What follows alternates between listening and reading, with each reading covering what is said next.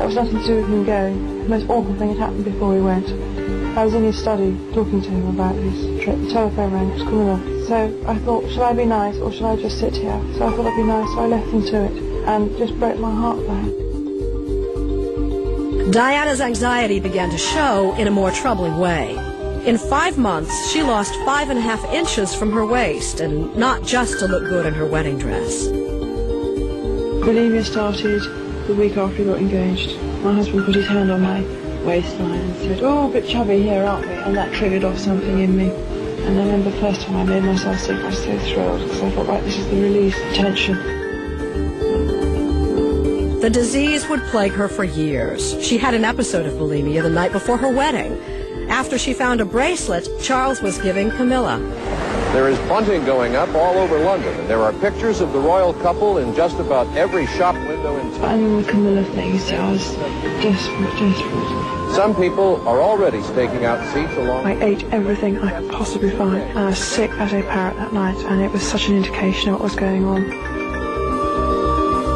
Any woman in Diana's position might have called the whole thing off. But there were more than two people in this relationship.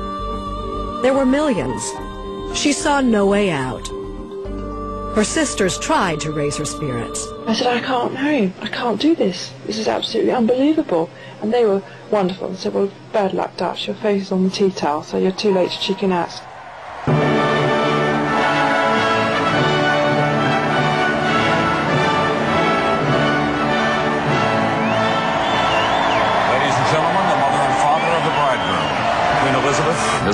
Royal the Prince of Wales, Prince Charles, heir to the throne of England. And here comes the bride. On the morning of July 29, 1981, with trumpets blaring and a worldwide audience of more than 700 million savoring every detail, Diana emerged from her glass carriage, feeling like she was going to an execution. I was very, very deathly calm, deathly, deathly calm. I felt as I was a, a lamb to the slaughter and I knew it, but I couldn't tell you about it.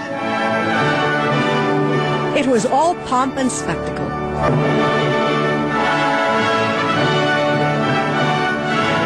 I thought the whole thing was hysterical getting married in the sense that it was just like, um, it was so grown up. And here was Diana, a kindergarten teacher, and the whole thing was ridiculous.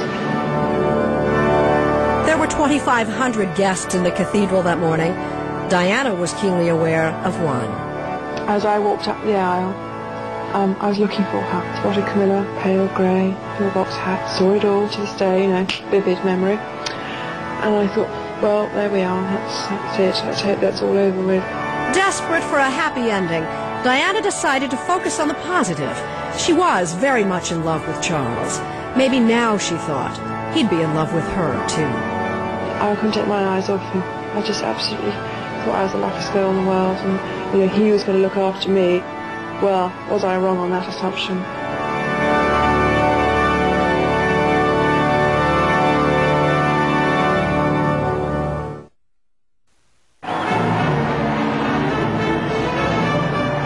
After their wedding, the royal couple set out for Buckingham Palace. One million people, by some estimates, turned out to show their excitement for Diana. The new princess was awestruck got out on the balcony, overwhelming what we saw. So humble, making all these thousands and thousands of people happy. It was just wonderful. Former palace spokesman Dickie Arbiter remembered the single moment the crowd had been waiting for. It was almost a chant from the crowd. Kiss her, kiss her. And they did kiss on the balcony. Never been done before. But they did. And there was a tremendous roar from the crowd. But even in those first hours, those who knew Diana best were already worried about her future.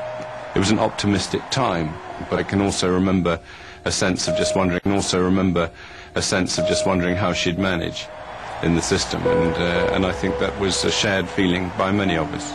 Their wedding night was to be their first intimate night together. Diana said only that it was strange, very strange. They spent part of their honeymoon on the royal yacht Britannia, but romance hardly filled the air. For their private diversion, Charles brought the works of a South African philosopher.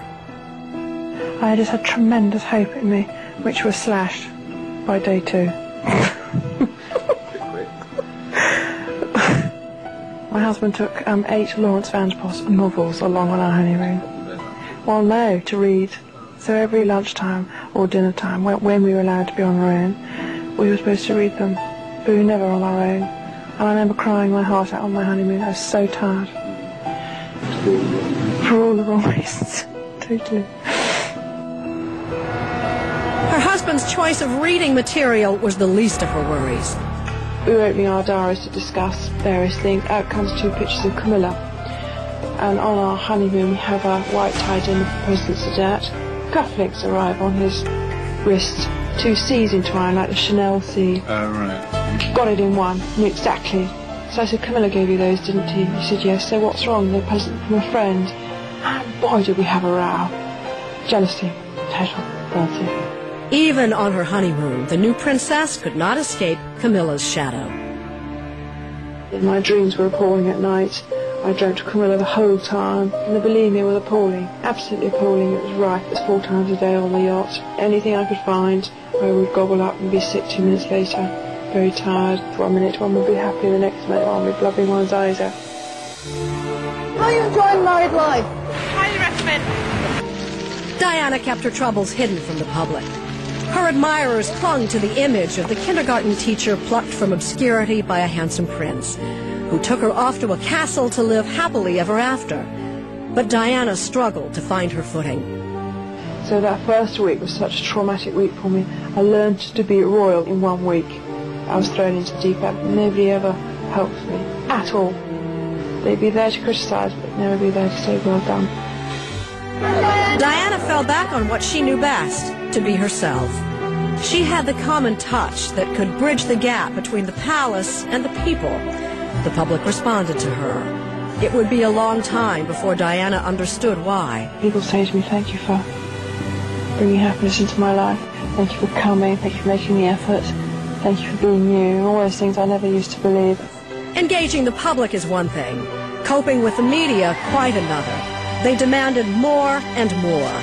Ken Lennox made a career out of photographing Diana. Everything she did, every time she breathed in or out, they took a photograph. The whole world were focusing on me every day. I was in the front of the papers and I thought this was just so appalling. I hadn't actually done anything specific like climb Everest or done something wonderful like that. In November of 1981, the palace announced that the princess was pregnant. Diana's struggle with her health proved doubly difficult. Sick the whole time, bulimia and morning sickness. People tried to put me on pills to stop me being sick. I refused to take the responsibility that if the child appeared handicapped, I wasn't going to take responsibility.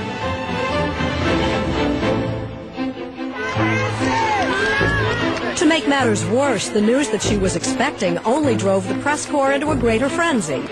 Photographers were determined to get a picture of the pregnant Diana. Nothing seemed off limits. Lennox and his tabloid competitors followed Diana and Charles on their vacation to a very private island in the Bahamas. Using a very long lens, Lennox snapped pictures of a pregnant princess in a bikini. She was distraught. I was horrified because I'd never walked around looking like that in a bikini. The Queen called it the blackest day in the history of British journalism. Overstepped a line, yeah. Oh, totally overstepped a line. By the standards of that time.